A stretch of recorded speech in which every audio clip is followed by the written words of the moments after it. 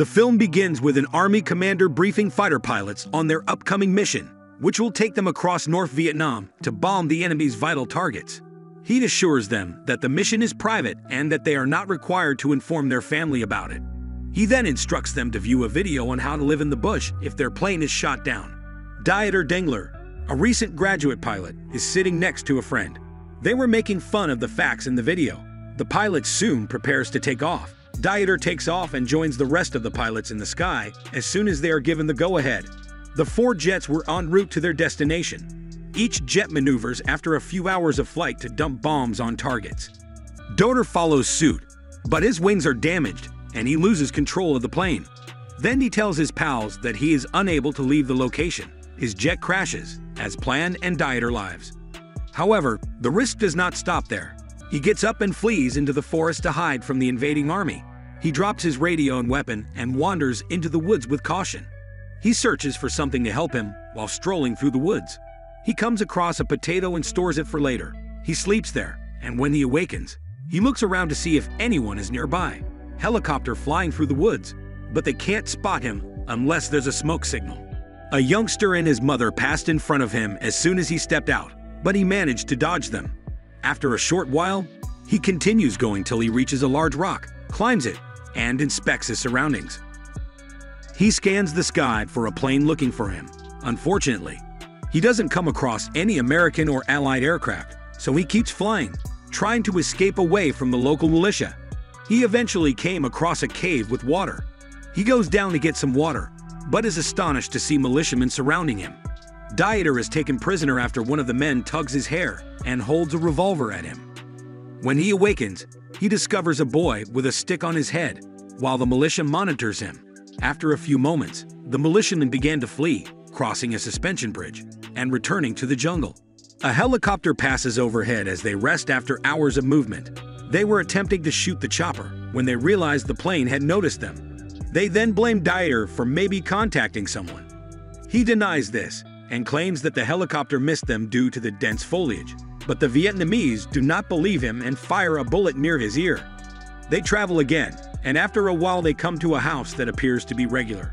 But it turns out to be the enemy's military headquarters. A high-ranking officer is speaking with Dieter inside the headquarters.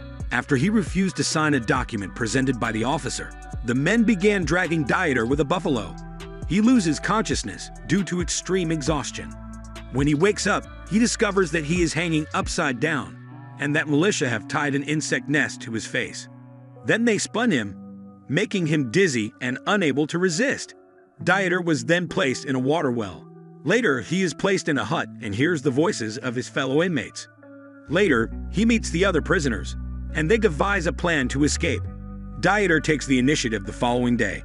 However, he realizes that some of the inmates have been here for years and are convinced they will not survive.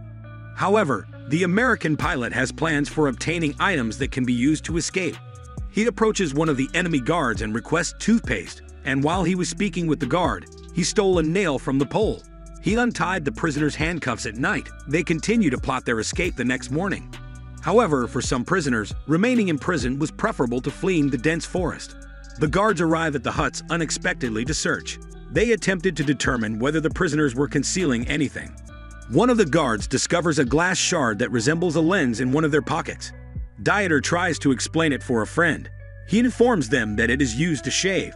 They'll be able to fool the guard and get away with it. Later, he gathered rice grains and hid them in his water bowl. Months later, the inmates commemorated his birthday. Despite their difficult circumstances, he divides the rice among them. Then he carefully plans his escape from the prison camp. While plotting their escape, he grabs a small mirror and checks to see if anyone is watching them. And when he realizes no one is looking, he becomes eager to flee. When the guards arrive, they handcuff themselves to avoid the guards becoming suspicious of them. The prisoners were given their share of food the next day, and the meal was barely enough for them, so they decided to save some for later.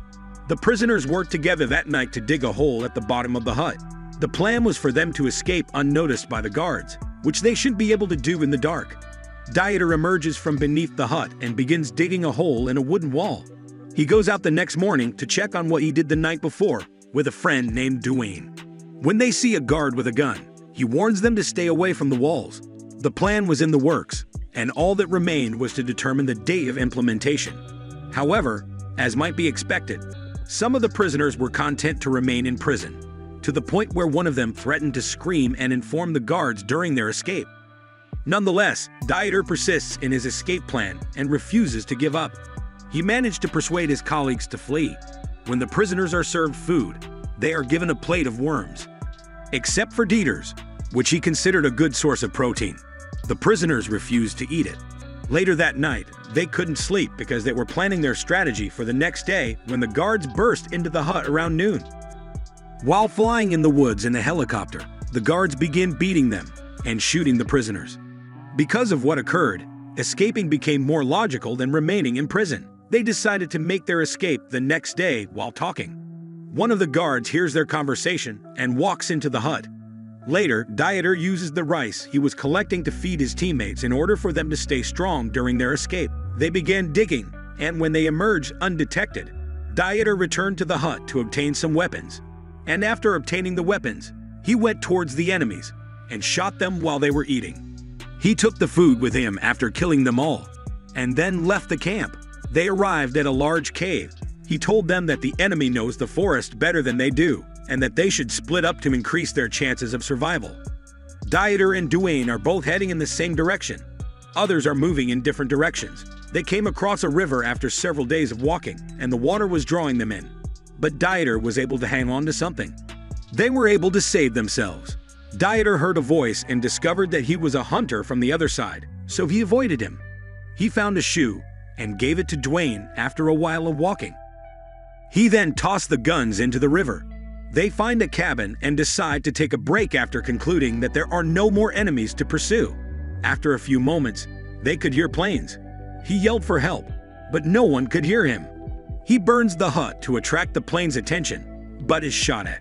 They then continue walking. They come across a boy and request water from him, but the boy flees to warn his tribe.